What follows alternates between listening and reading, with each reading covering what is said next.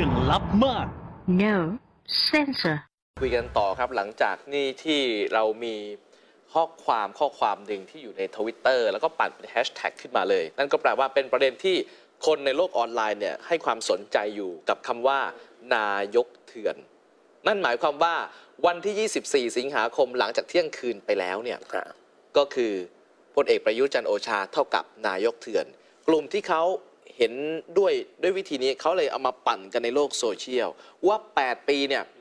แปดเปื้อน คือท็อปพี่เคยพูดอยู่เสมอใช่ไหมคะว่าคนพวกนี้เวลาที่เขาทำอะไร ให้ได้อย่างใจเขาเนี่ยเขาจะอ้างคำว่าประชาชน พี่ถึงถามว่าถ้าพวกเขาคือประชาชนที่เรียกนายกว่านายกเถื่อน และคนที่เห็นว่ารอให้ศาลตัดสินก่อน แล้วยังไม่ประประนามอะไรยังไงทั้งสิ้นเนี่ยมีจำนวนเท่าไหร่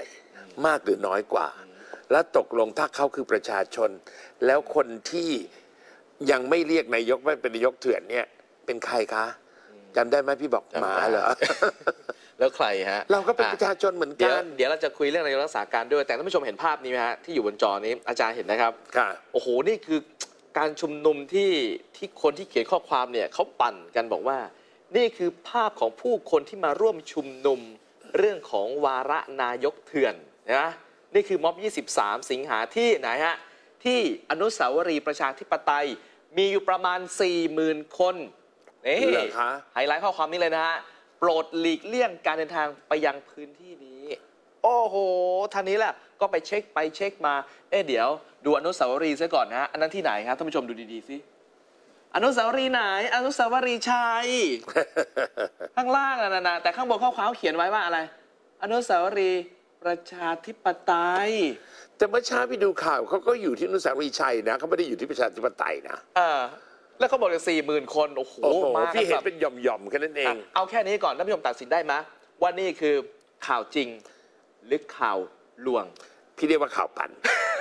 ข่าวพี่ปั่นเรียกว่าข่าวปั่นนะใช่เขาปั่นไงอ่าเออเนี่ยดูแล้วกันนะฮะท่านผู้ชคือมไม่ใช่ครับข่าวจริงแน่นอนเป็นข่าวปั่น ก็ทำให้คนเสพข่าวอะเข้าใจผิดว่าโอ้โหมีมวลชนเข้ามาเยอะขนาดนี้นี่แหละ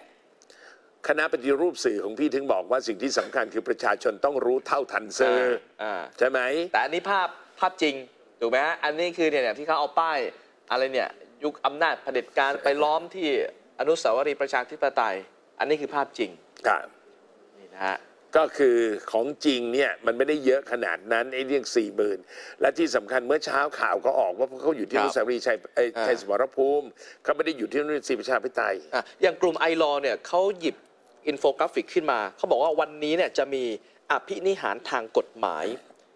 เมื่อสารรัฐมนูญตีความว่า 8 ปีพลเอกประยุทธ์ครั้งนี้เนี่ยดูเหมือนว่าจะรอด หรือไม่อันนี้ไม่รู้นะ แต่เขาเหมือนว่าจะมีอภินิหารทางกฎหมายทำไมเขาถึงมองแบบนั้น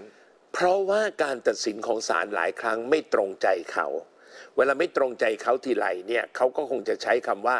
ศาลไม่มีอิสระศาลถูกครอบงำศาลถูกล็อบบี้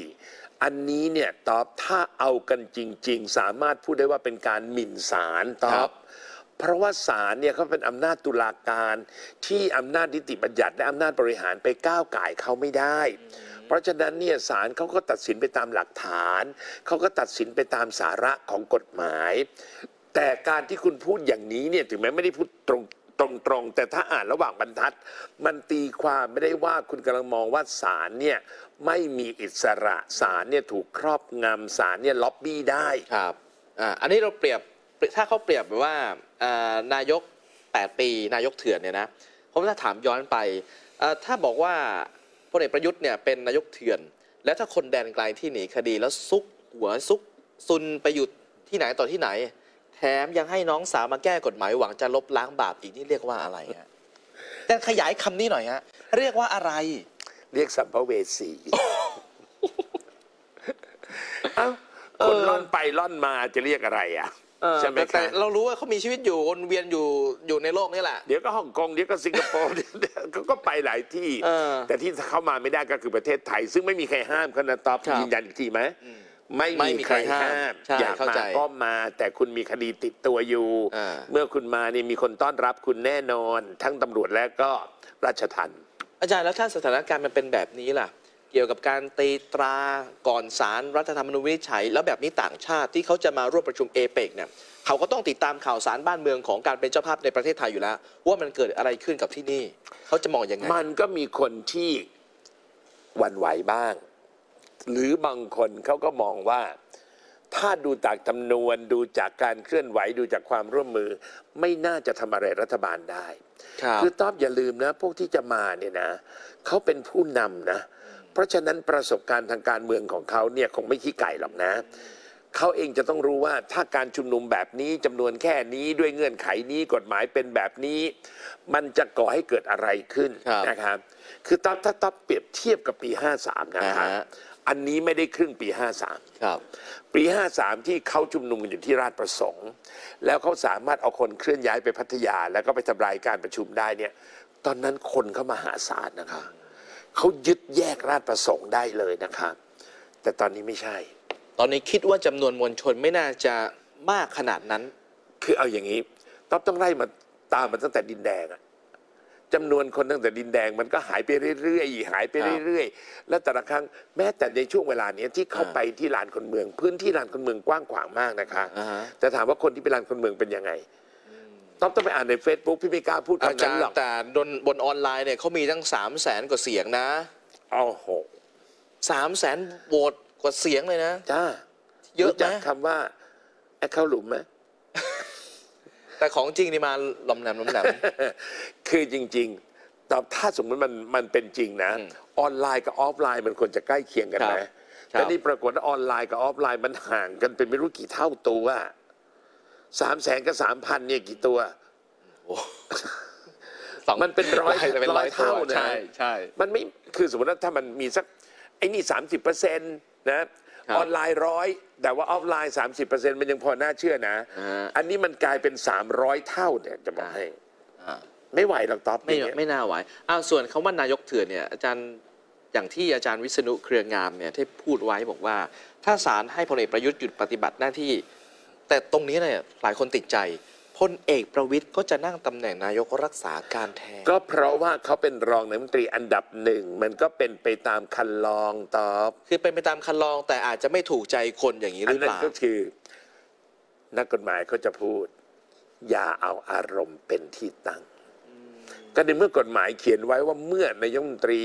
ไม่สามารถปฏิบัติหน้าที่ได้ ครับรองนายกรัฐมนตรีก็จะต้องปฏิบัติแทน แล้วรองนายกรัฐมนตรีถ้ามีหลายคนก็ต้องใครล่ะเป็นรองอันดับหนึ่งคนนั้นจะต้องเป็นผู้ปฏิบัติแทน อะถ้าเป็นแบบนั้นจริงนะสมมติว่าหลุดจริงนะฮะลุงป้อมนั่งตำแหน่งรักษาการนายก แล้วครมเขาจะทำงานแบบสะดุดไหมอะ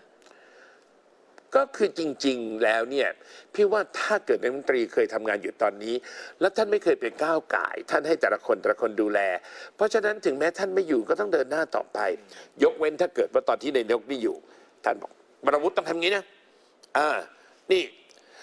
อนุทินคุณต้องทำอย่างนี้นะครับถ้าเป็นอย่างนั้นพอท่านไปอาจจะสะดุด เพราะท่านเคยชี้นิ้ว เพราะฉะนั้นคิดว่าก็ไม่น่าจะสะดุไม่ดน่าเหจะมือนสะที่ดุดอาจารเพย์ราะวิว่าษณุที่ว่าผ่านไว้มาท็อปเคยได้ยินไหมว่าท่านไปชี้นิ้วใครอะ ก็ไม่เคย เออ ก็มีแต่เรียกระดมหารือแล้วก็หาผู้เชี่ยวชาญผู้มีประสบท่านไม่เคกายรไปณ์ สั่งว่า อนุทินทำอย่างนี้นะอ่าวรวุฒิทำอย่างนี้นะครับ อะเอ่อจุลินทร์ทำอย่างนี้นะ ท่านก็ให้เกียรติทุก ๆ คนในการที่จะทำงาน เพราะฉะนั้นถ้าสมมติว่าท่านไม่อยู่จริง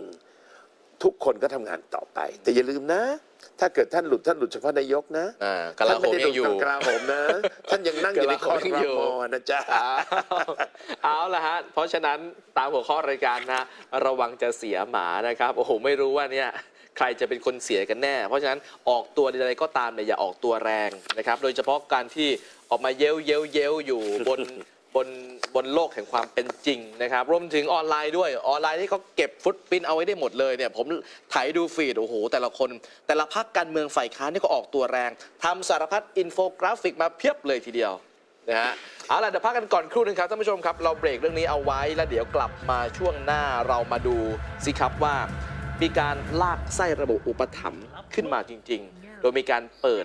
ตำแหน่งสว.เส้นใหญ่ออกมาด้วย ว่าสว.คนนี้เนี่ย ขาดจริยธรรมร้ายแรงเป็นใครกันนั้นในช่วงหน้ามาฟังกันครับ